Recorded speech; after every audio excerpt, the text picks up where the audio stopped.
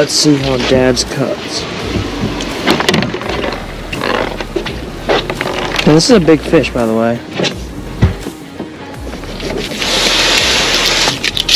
Oh yeah, dude.